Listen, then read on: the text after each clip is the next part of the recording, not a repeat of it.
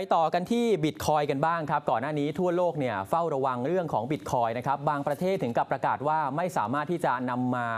ใช้จ่ายได้ตามปกติ เพราะว่ามีความผันผวนสูงนะครับ ล่าสุดกรมสอบสวนคดีพิเศษได้สั่งอายัดสามบัญชีซื้อขายบิตคอยครับหลังจากผู้เสียหายถูกมิจฉาชีพหลอกให้โอนเงินมาลงทุน ส่วนด้านกระทรวงการคลังก็ย้ำว่าเป็นสกุลเงินที่มีความเสี่ยงสูง และยังไม่มีกฎหมายรองรับอธิบดี DSI นะครับขออภัยครับรองอธิบดี DSI พันตำรวจตรีสุริยาสิงหกมลบอกว่า DSI ได้อายัดกระเป๋าเงินบิตคอยไปแล้ว 2-3 บัญชีบัญชี ซึ่งมีมูลค่าการลงทุนไม่มากนัก หรือไม่เกินหลักล้านบาท หลังจากผลการสอบสวนพบว่าผู้เสียหายแต่ละรายถูกกลุ่มมิจฉาชีพ หลอกให้ลงทุนจำนวนมาก แล้วตอนนี้ยัง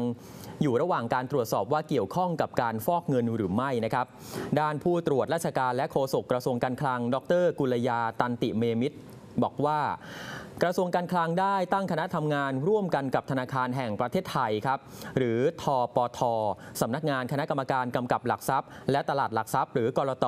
และสำนักงานป้องกันและปราบปรามการฟอกเงิน หรือปปงเพื่อติดตามและศึกษาประเด็นสกุลเงินดิจิตอลหรือบิตคอยน์อย่างใกล้ชิด โดยย้ำว่าปัจจุบันยังไม่มีกฎหมายรองรับเงินสกุลนี้ครับ ที่มีความเสี่ยงสูงนะคะในการที่จะไปลงทุนเนี่ยเราต้องเอ่อเข้าเข้าใจอย่างถ่องแท้นะคะไม่งั้นเนี่ยเอ่อจะเรียกว่าเป็นความเสี่ยงในการลงทุนที่สูงมากนะคะสำหรับผู้ที่ยังไม่มีความเข้าใจเนี่ยก็ต้องการที่จะอ่าให้เข้าใจว่าอันนี้เนี่ยทางทางกฎหมายเนี่ยยังไม่รองรับนะถ้าจะไปใช้จ่ายกันโดยที่ไม่เข้าใจเนี่ยขอให้หลีกเลี่ยง จะเป็นประเด็นประเด็นนั้นมากกว่านะคะเราก็พยายามที่จะให้ความรู้ความเข้าใจในในเรื่องของสกุลเงินเหล่านี้ค่ะ